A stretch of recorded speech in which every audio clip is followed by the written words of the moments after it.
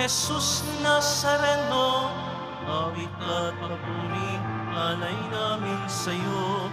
Tingin ng dalangin at pagsamo ng bayan mo. Viva poong Jesus Nazareno.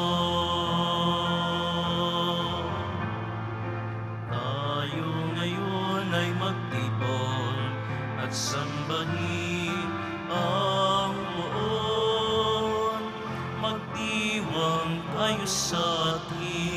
debosyon, purihin ang Panginoon. Viva poong Jesus Nazareno, awit at papuri, alay namin sa'yo. Dinggin ang dalangin at pagsamo ng bayan mo. Viva poong Jesus Nazareno.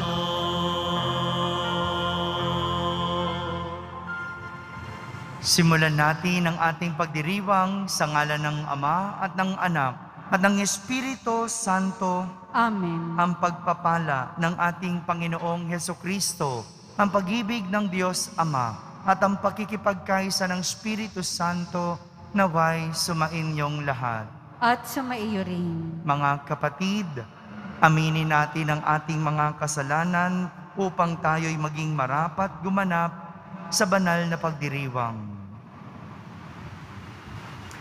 Inaamin ko sa makapangyarihang Diyos At sa inyo, mga kapatid, nalubha akong nagkasala sa isip, sa salita at sa gawa, at sa aking pagkukulang. Kaya'y sinasamo ko sa mahal na Birheng Maria, sa lahat ng mga anghel at mga banal, at sa inyo, mga kapatid, na ako'y ipanalangin sa Panginoong ating Diyos. Kaawan tayo ng makapangyarihang Diyos, patawarin tayo sa ating mga kasalanan at patnubayan tayo sa buhay na walang hanggan. Amen. Panginoon, kawaan mo kami. Panginoon, kaawaan mo kami. Kristo, kawaan mo kami. Kristo, kaawaan mo kami. Panginoon, kawaan mo kami. Panginoon, kaawaan mo kami. Manalangin tayo. Ama naming makapangyarihan, ikaw ang lumikha at tagapamahala ng tanang umiiral. Tunghayan mo kami upang ang iyong awa ay aming maranasan at ipagkalob mong ikaw ay aming wagas na mapaglingkuran.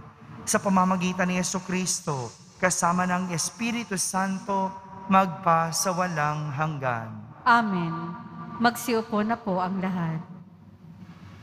Pagbasa mula sa unang sulat ni Apostol San Pablo kay Timoteo.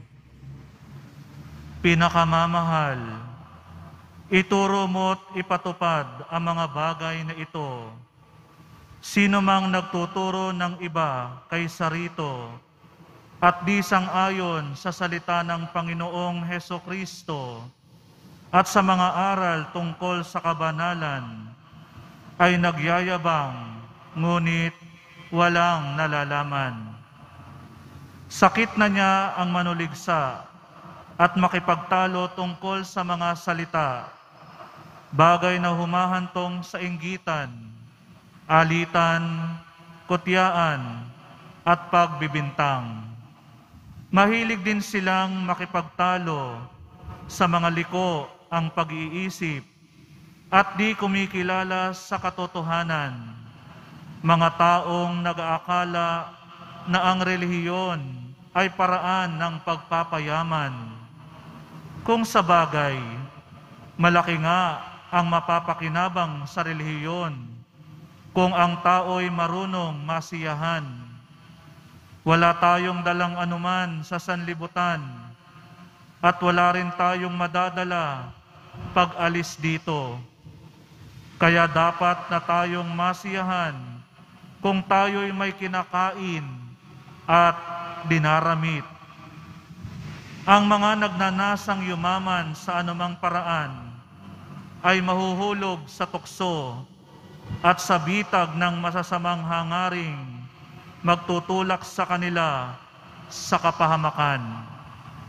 sapagkat ang pag-ibig sa salapi ay siyang ugat ng lahat ng kasamaan. Dahil sa paghahangad na magkamal ng salapi, may mga nalayo sa pananampalataya at nasadlak sa paghihirap ng kalooban.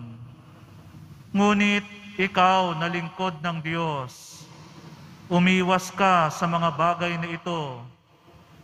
Sikapin mong mamuhay sa katuwiran, kabanalan, pananalig, pag-ibig, pagtitiis at kaamuan. Gawin mo ang buo mong makakaya sa pakikibaka, alang-alang sa pananampalataya, at kakamtan mo ang buhay na walang hanggan. Yamang diyan ka tinawag ng Diyos nang ipahayag mo sa harapan ng maraming saksi ang iyong pananampalataya. Ang salita ng Diyos. Salamat sa Diyos. Mapalad ang mga aba, tanging Diyos ang hari nila. Mapalad ang mga aba, tanging Diyos ang hari nila. Hindi ako natatakot sa panahon ng panganib, kahit pa nga naglipa na ang kaaway sa paligid. Mga taong naghahambog, nasa yaman nananalig, dahilan sa yaman nila'y tumaas ang pag-iisip. Mapalad ang mga aba, tanging Diyos ang hari nila. Hindi kaya ng sinumang ang sarili ay matubos. Hindi kayang mabayarat, tubusin sa kamay ng Diyos. Ang bayad sa kanyang buhay ay halagang sakdal taas. Gaano man ang halagang hawak niya'y hindi sapat upang siya ay mabuhay ng hindi na magwawakas at sa labi ng libingan ay hindi na mapasadlak. Mapalad ang mga aba, tanging Diyos ang hari nila. Di ka dapat matakot, ang tao man ay yumaman. Lumago man ng lumago yaong kanyang kabuhayan. Hindi ito madadala kapag siya ay namatay. Ang yaman ay hindi niya madadala sa libingan. Mapalad ang mga aba, tanging Diyos ang hari nila.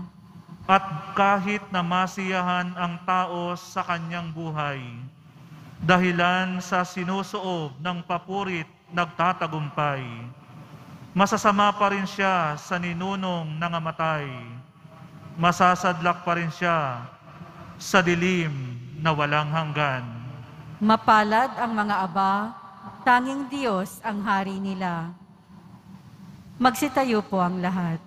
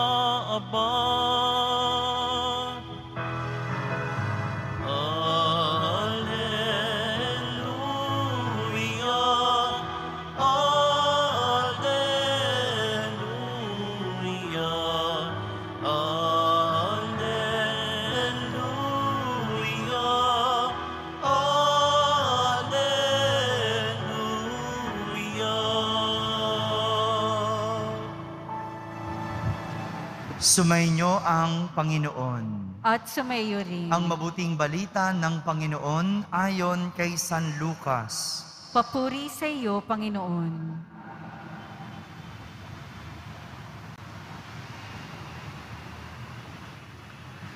Noong panahong iyon, nilibot ni Jesus ang mga bayan at nayon. Nangangaral siya at nagtuturo ng mabuting balita tungkol sa paghahari ng Diyos. Kasama niya ang labindalawa at ilang babaeng pinagaling niya sa masasamang espiritu at mga karamdaman. Si Maria na tinatawag na Magdalena, mula sa kanya ay pitong demonyo ang pinalayas. Si Juanang asawa ni Kusa, nakatiwala ni Herodes. Si Susana at marami pang iba.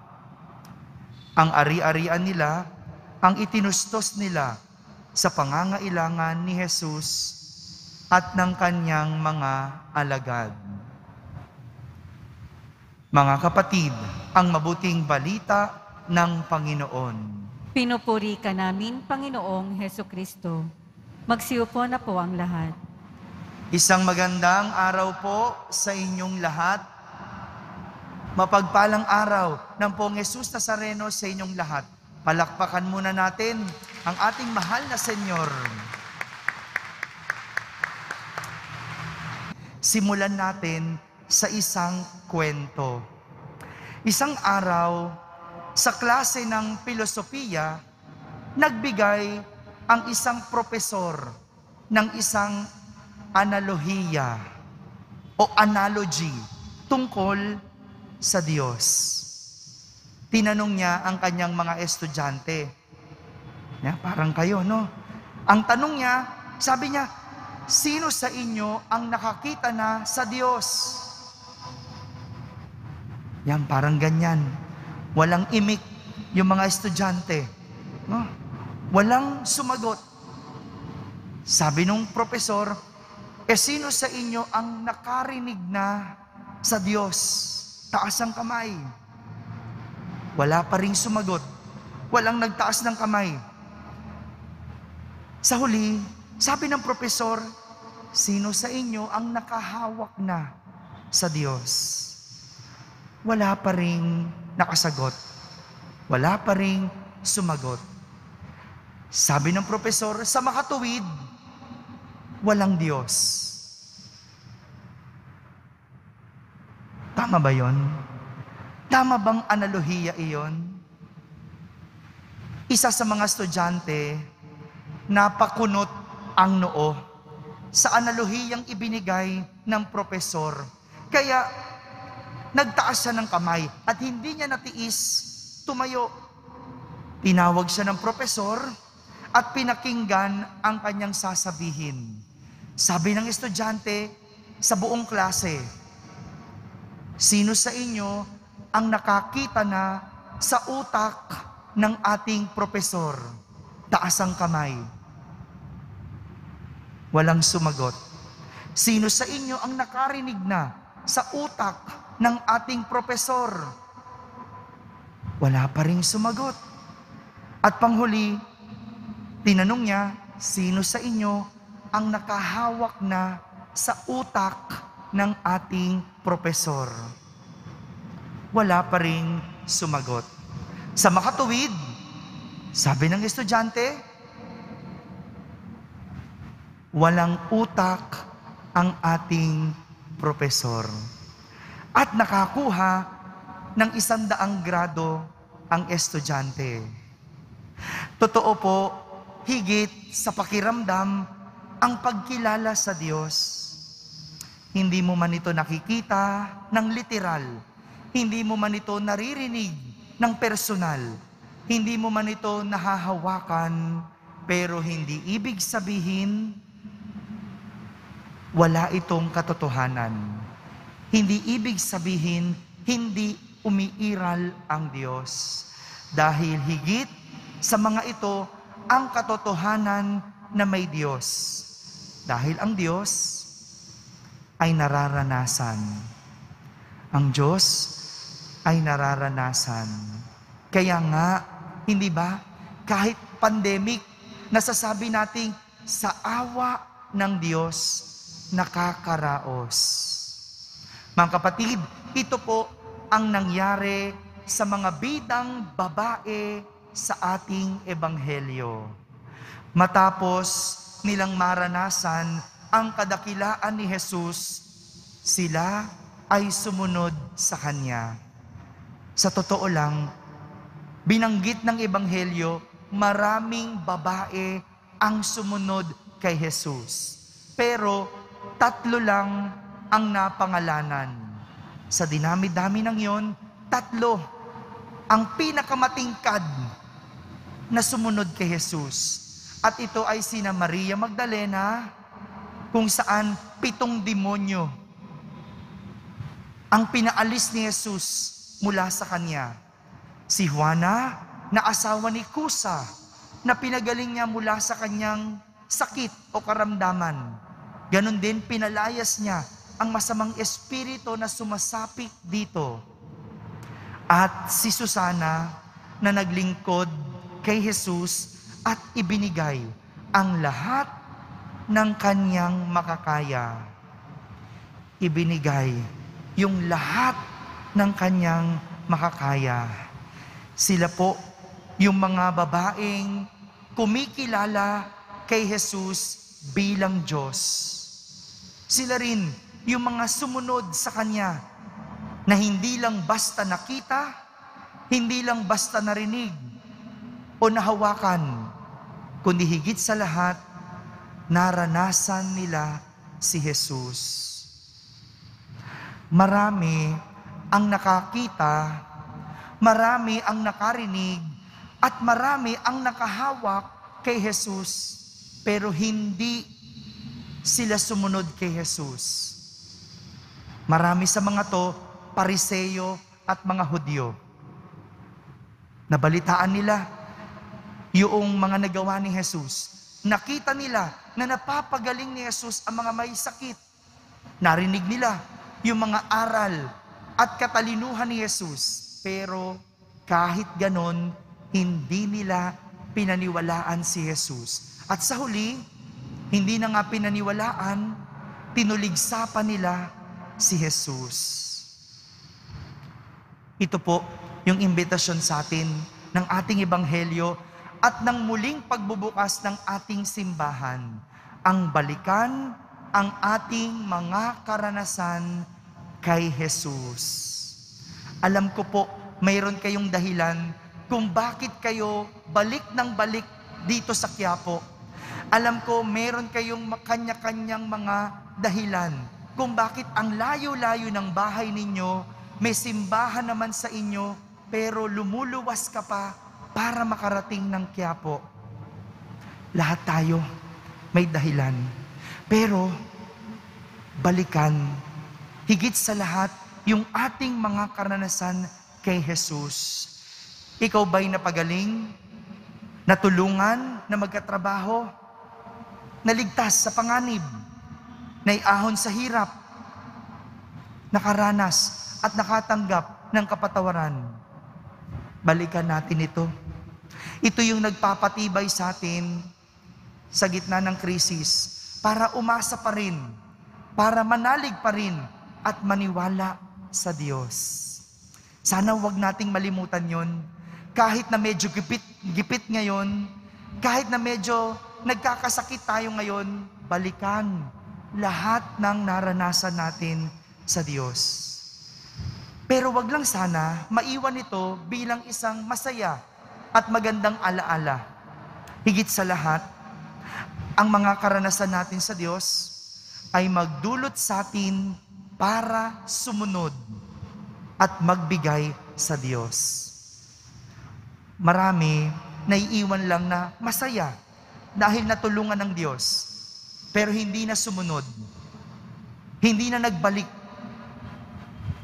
Sana, paikutin natin yung natanggap natin, ibalik din natin dahil ito lang naman ang gulong ng buhay. Matulungan, tumulong, makatanggap, magbigay. Kung natulungan kang umahon, tulungan mo din yung iba. Kung nakapasa ka sa board exam, gamitin mo yung profession mo para sa ikabubuti ng tao. Kung ikaw ay nagkatrabaho at pinalad, bigyan mo naman ng oportunidad yung iba. Ganito lang naman ang buhay. Hindi naman mahalaga, lalo ngayon, kung tayo ay may sobra-sobra. Kung sapat na, salamat. Kung kulang pa, umasa. Ang panyaya sa atin, nawa ang karanasan natin kay Jesus ay wag lang maiwan bilang masayang alaala, kundi higit sa lahat, magdulot sa atin at magdala sa atin na sumunod at magbigay sa Kanya. Amen? Amen.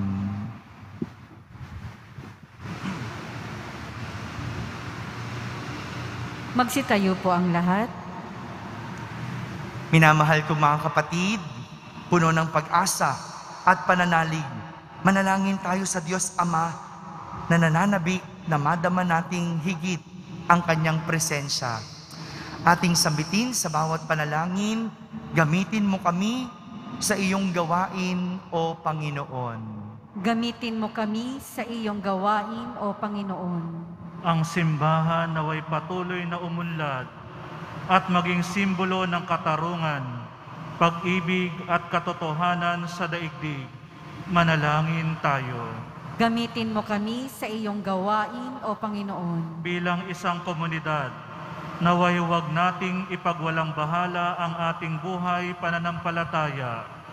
Bagkos hanapin natin ang Diyos, maging sa mga paghihirap at pagsubok. Manalangin tayo.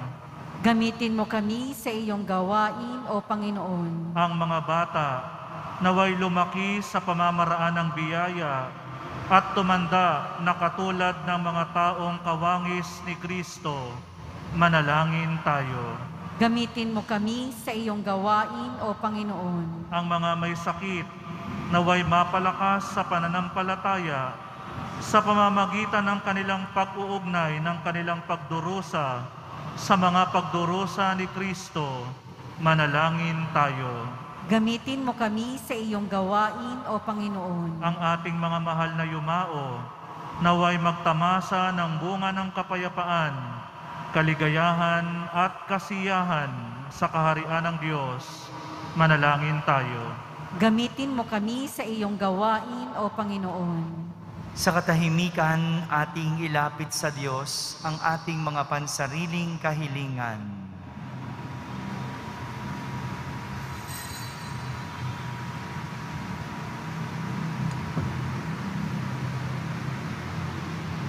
Manalangin tayo. Gamitin mo kami sa iyong gawain, O Panginoon. Diyos Ama sa langit, tulungan mo kaming maunawaan ang kahalagahan ng panahon ng aming pag-iral. Buksan mo ang aming mga puso upang magbunga kami lagi ng kabutihan. Hinihiling namin ito sa ngalan ni Kristo na aming Panginoon. Amen. Magsiupo na po ang lahat.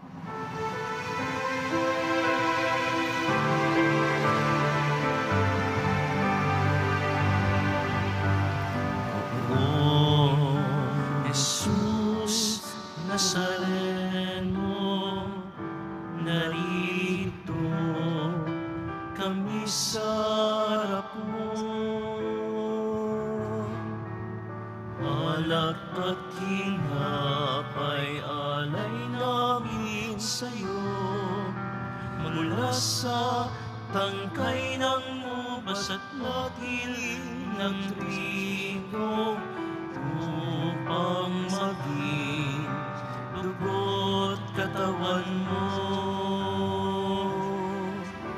Jesus Nazareno, alak at hinapay sa tanan ay nagbibigay buhay, biyayang kaloob mo ay aming inaalay, aming hiling pagpapalat, dalisay. Magsitayo po ang lahat. Manalangin kayo mga kapatid upang ang paghahain natin ay kalugdan ng Diyos amang makapangyarihan. Tanggapin nawa ng Panginoon itong paghahain sa iyong mga kamay, sa kapurihan niya at karangalan, sa ating kapakinabangan at sa buong sambayanan niyang banal. Ama naming lumikha, maawain mong dinggin ang aming pithaya at paunlakan mo ang paghahaing aming inihanda upang ang mga handog ng bawat isang nagbigay para sambahin ang banal mong ngalan ay magkamit ng karagdagan mong kasiyahan. Sa pamamagitan ni Yeso Kristo, kasama ng Espiritu Santo, magpa sa walang hanggan. Amen. Sumainyo ang Panginoon. At sumaiyo rin. Itaas sa Diyos ang inyong puso at diwa. Itinaas na namin sa Panginoon. Pasalamatan natin ang Panginoong ating Diyos. Marapat na siya ay pasalamatan. Ama naming makapangyarihan, tunay ngang marapat na ikaw ay aming pasalamatan sa iyong paglingap at kagandahang loob. Ang tao'y nilikha mo at pinangasiwa sa sansinukob. Sa hangad mong siya'y iwastong lubos, siya'y pinagdusa mo sa kanyang pagtalikod. Sa iyong paggiliw, iyong ipinahintulot na makabalik siya sa pamamagitan ni Kristo Jesus. Kaya kaysa ng mga anghel na nagsisiawit ng papuri sa iyo ng walang humpay sa kalangitan, kami nagbubunyi sa iyong kadakilaan.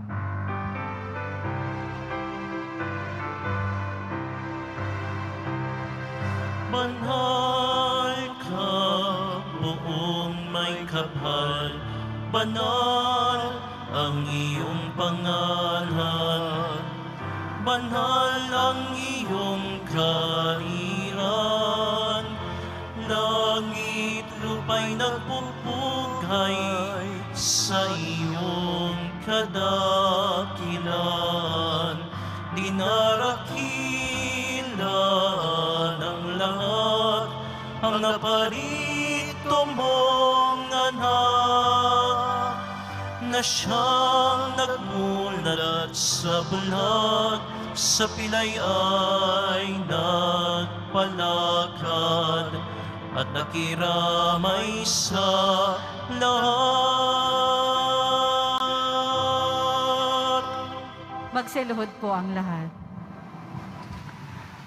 Ama naming banal, ikaw ang bukal ng tanang kabanalan. Kaya't sa pamagitan ng iyong Espiritu, ay gawin mong banal ang mga kaloob na ito upang para sa amin ay maging katawan at dugo ng aming Panginoong Heso Kristo. Bago niya pinagtisang kusang loob na maging handog, hinawakan niyang tinapay, pinasalamatan kanya, pinaghati-hati niya iyon, iniabot sa kanyang mga lagad at sinabi,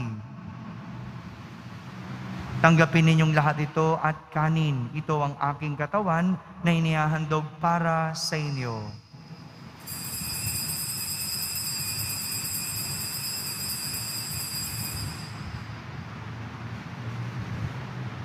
Kaya hindi naman matapos ang hapunan, hinawakan niyang kalis, muli kanyang pinasalamatan. Iniabot niya ang kalis sa kanyang mga alagad at sinabi, Tanggapin ninyong lahat ito at inumin. Ito ang kalis ng aking dugo, ng bago at walang hanggang tipan. Ang aking dugo na ibubuhos para sa inyo at para sa lahat, sa ikapagpapatawad ng mga kasalanan. Gawin ninyo ito sa pag-alaala sa akin.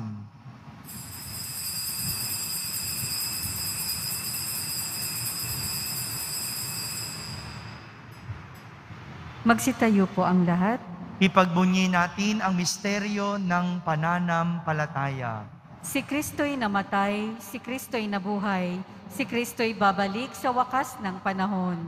Ama, ginagawa namin ngayon ang pag-alaala sa pagkamatay at muling pagkabuhay ng iyong anak. Kaya't inaalay namin sa iyo ang tinapay na nagbibigay buhay at ang kali sa nagkakaloob ng kaligtasan. Kami nagpapasalamat dahil kami iyong minarapat na tumayo sa harap mo para maglingkod sa iyo. Isinasamo namin kaming magsasalo-salo sa katawan at dugo ni Kristo ay mabuklod sa pagkakaisa sa pamamagitan ng Espiritu Santo. Ama, lingapin mo ang iyong simbahang laganap sa buong daigdig. Puspusin mo kami sa pag-ibig kaysa ni Francisco na aming Papa, ni Jose na aming Obispo at ng Tanang Kaparian.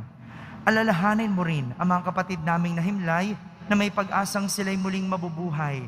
Kayon din ang lahat ng mga pumanaw. Kaawan mo sila at patuloyin sa iyong kaliwanagan Kaawan mo at pagindapating kaming lahat na makasalo sa iyong buhay na walang wakas. Kaisa na mahal na Birheng Maria na ina ng Diyos, ng kabiyak ng puso niyang si San Jose, kaysa ng mga apostol ni San Juan Bautista at ng lahat ng mga banal na namuhay dito sa daigdig ng kalugod-lugod sa iyo. May pagdiwang nawa namin ang pagpupuri sa kararangal mo sa pamamagitan ng iyong anak na aming Panginoong Heso Kristo. Sa pamamagitan ni Kristo, kasama niya at sa Kanya, ang lahat ng parangal at papuri ay sa iyo, Diyos amang makapangyarihan, kasama ng Espiritu Santo, magpa sa walang hanggan.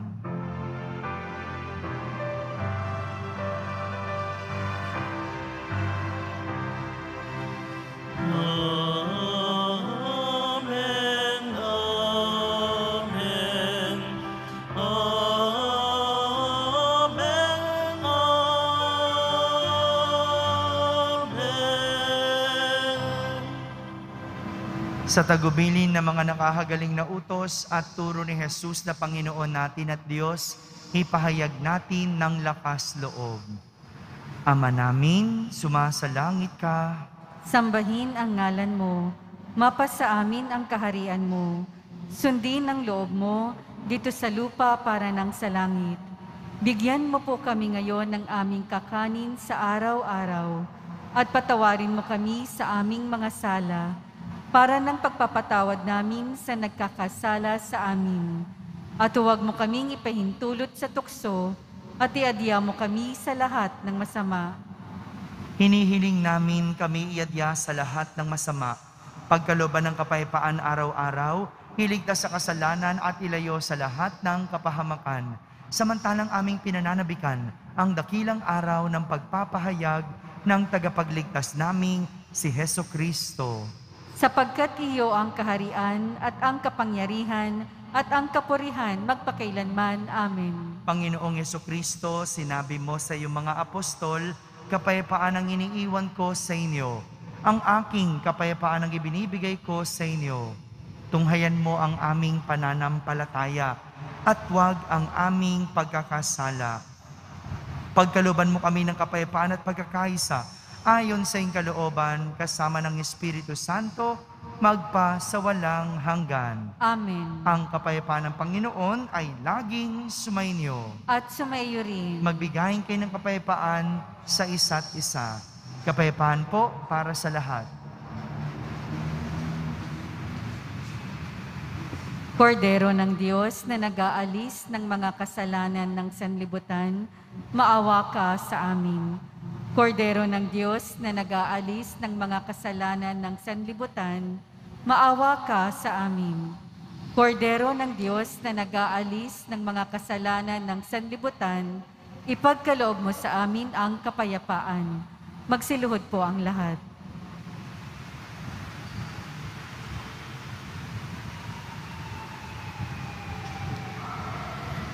Ito ang kordero ng Diyos.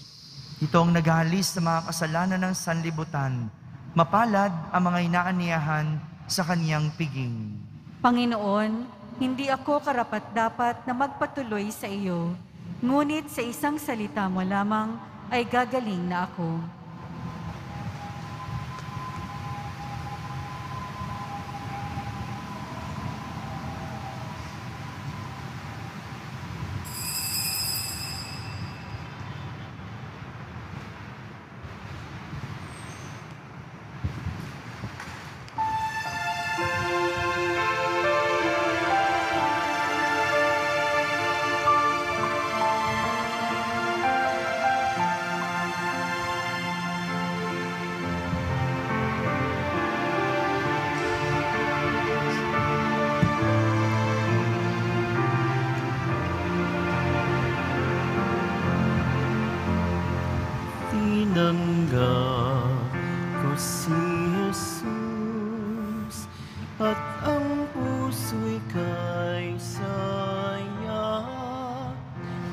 Tinanggap ko si Jesus at ang puso'y kay saya. Pagkain kaniyang bigay.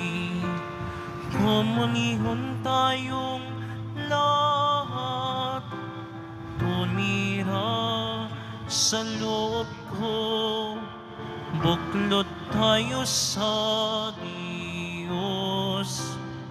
Tinanggap ko si Jesus at ang puso'y kay saya. Tinanggap ko si Jesus at ang puso'y kay saya. Pag-ibig kaniyang anay, magsimba tuwing linggo. Tularan si Maria, kapwa natin tulungan. Tinanggap ko si Jesus at ang puso'y kay. Tinanggap si Jesus at ang puso'y kay saya. Pag-asa kaniyang taglay sa langit walang hanggan. Lumakbay Pilipino, yakap tayo ni Jesus. Tinanggap ko si Jesus at ang puso'y kay saya. Tinanggap ko si Jesus at ang puso'y kay saya. Tinanggap ko si Jesus at ang puso'y kay saya. Tinanggap ko si Jesus at ang puso'y kay saya.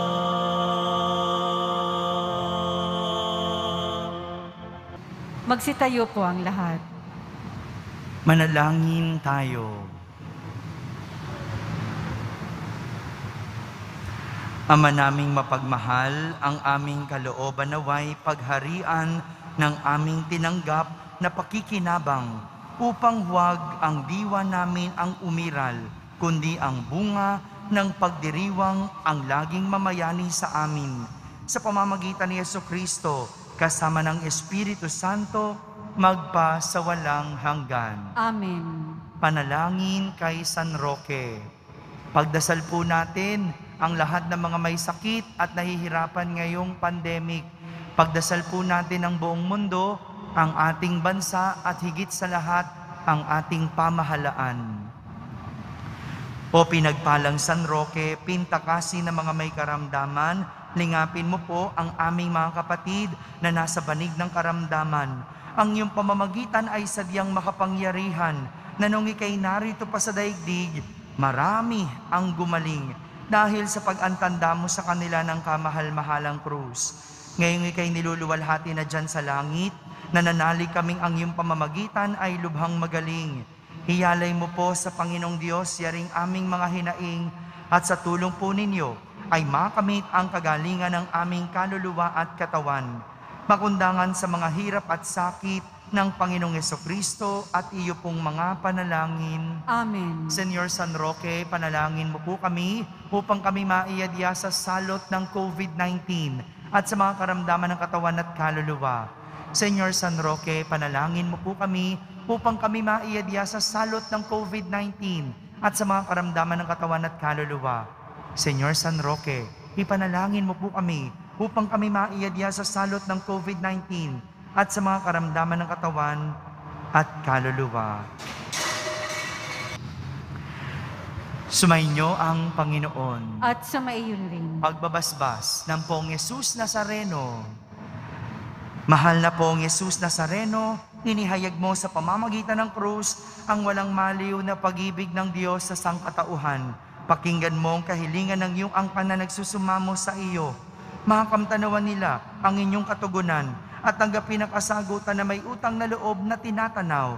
Basbasan din po ninyo ang lahat na may karamdaman at nahihirapan sa pamamagitan ng bendisyon na ito, naway maalala nila ang mga pangako nila noon sa binyag na ikaw ang kanilang iibigin at pagdilingkuran bilang Panginoon magpa sa walang hanggan. Amen. At pagpalain kayo ng makapangyarihang Diyos, Ama, Anak, at Espiritu Santo. Amen. Tapos na po ang ating pagdiriwang, humayging taglay ang pag-ibig at kapayapaan ng poong Jesus Nazareno.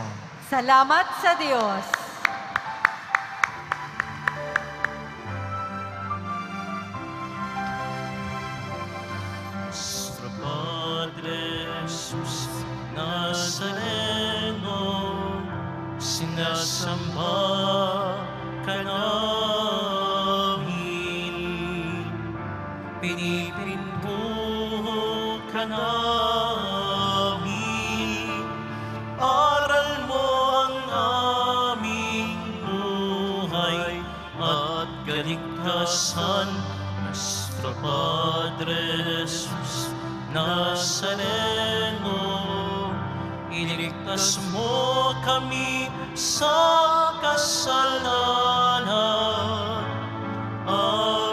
Krus mong kinamatayan ay sagisag ng aming kaligtasan. Nuestro Padre Jesus Nazareno,